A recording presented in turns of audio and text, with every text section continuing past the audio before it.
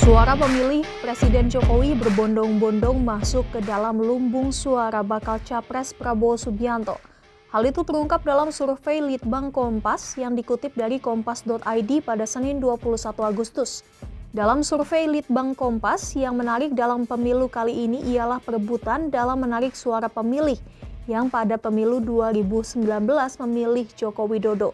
Sejauh tertangkap dalam survei periodik Litbang Kompas, Ganjar masih mendapatkan aliran suara terbesar dari pemilih Jokowi, yakni 63,6 persen, jika Ganjar hanya berhadapan dengan Prabowo.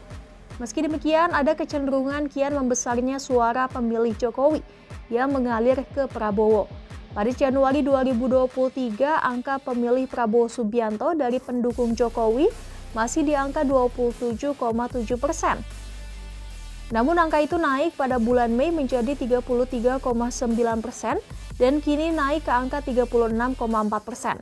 Sementara itu pemilih yang pada 2019 mencoblos Prabowo Subianto terlihat makin solid untuk kembali memilih Prabowo dalam pemilu 2024. Pada Januari lalu mereka yang kembali memilih Prabowo berada di angka 72,5 persen lalu naik menjadi 79,3 persen dan kali ini telah mencapai 85,7 persen.